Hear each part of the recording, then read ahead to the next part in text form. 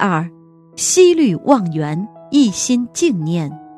就是在念经的时候，必须把自己的各种各样的忧虑和顾虑全部熄灭掉。大家好，欢迎来到今天的学佛早班车。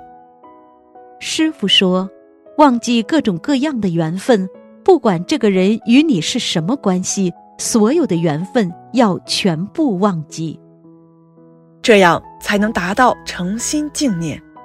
因为，当你息虑忘缘。沉浸于佛法的时候，你是一心静念，你的心只有一个念头了，是很干净的一个念头，叫一心静念。接下来，让我们看几则精彩的同修分享吧。首先，这位同修分享到：六月二十八日周五下班后，我想去一趟银行，上车几分钟后，天空由毛毛细雨转为倾盆大雨，我心想。这可怎么办呢？雨太大，伞根本不管用，还是会全身淋湿。我的关节疼痛不可避免。可是如果等周六再去，我又不方便。一路上思前想后，我只能在心里祈求菩萨慈悲保佑，让我顺利办好事情。快到银行了，雨突然小起来了。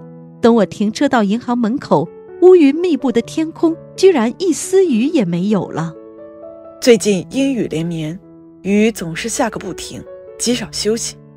我来不及开心，马上到银行办完事，又回到车里，准备往家走。车还未启动，铺天盖地的大雨又下了起来。菩萨真的是太慈悲了，掐准了时间，让我顺利办完事情，又没有淋一点雨。感恩菩萨，学佛真好，遇到事情。只要祈求千手千眼的观世音菩萨，总会闻声救苦，我们的人间生活才能顺心如意。感恩同修的分享，这位同修分享到：感恩大慈大悲观世音菩萨，感恩护法菩萨，感恩师傅。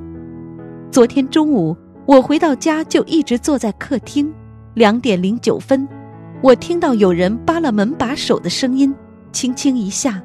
我就用手机问先生是不是他，先生说不是，我就让先生给我看安装在厨房对着走廊的监控，先生说家门口有陌生人，我又陆续几次听到扒了门把手的声音，两点十一分，我回到卧室报警了，然后我就纠结躲哪个房间反锁门，先生还说一个门锁是坏的，我吓得手都在抖。两点十八分左右，我决定躲在大房间反锁。突然想到念观世音菩萨圣号，嘴里急忙叫观世音菩萨救救我。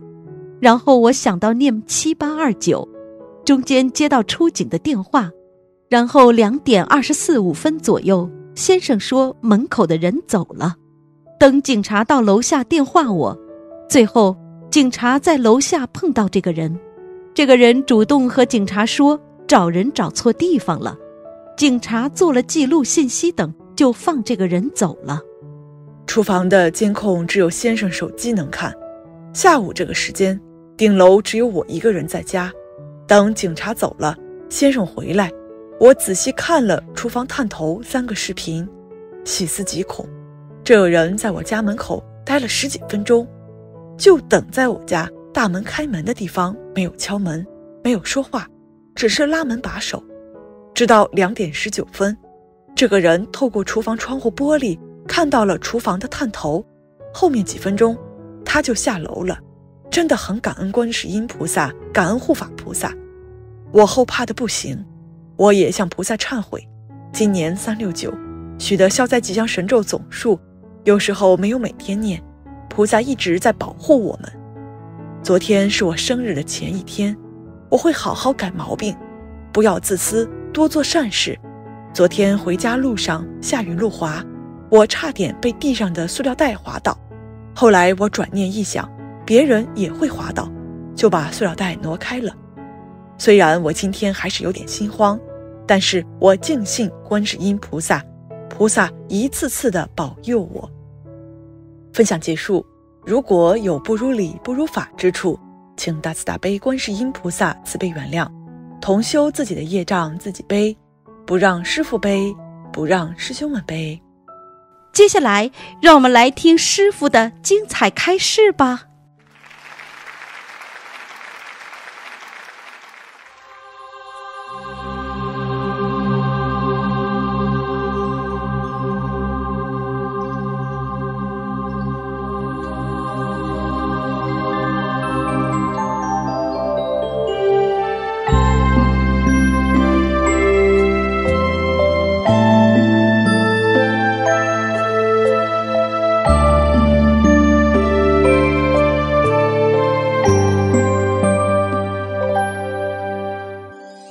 纪念农历九月十九观世音菩萨出家日，师傅开示集锦。观世音菩萨的甚深愿力及大慈大悲的精神。五，观世音菩萨于诸佛菩萨中是慈悲第一，慈悲心最为殊胜圆满。选自二零一七年三月二十六日悬疑问答。连佛陀就说：“天上这么多菩萨，慈悲只观世音菩萨第一，那么不及众菩萨都慈悲不如观世音菩萨，因为很多都是金刚萨多啦，他们还有一些菩萨啦，他们在其他方面，比方说在智慧啊啊，在在在在啊去救人的舍己的方面，他们都是很好的第一的，但是在慈悲方面，的确是观世音菩萨最最圆满。”所以呢，一讲到观世音菩萨，大家都赞叹，并不代表就是说大其他菩萨不慈悲，只是说最慈悲的是观世音菩萨。感恩菩萨，感恩师傅。在今天节目的最后，让我们在一起听师傅的白话佛法，然后就像听到了圣音，亲临原音，就像听到了天籁之音。就像听到了观世音菩萨的声音，看到观世音菩萨的脸在给你讲话一样。其实这就是亲自聆听。好了，以上就是今天学佛早班车的内容。希望每个人都可以元气满满迎接每一天，加油吧，学佛人！嗯，同时也期待明天同一时间与您在这里再次相会。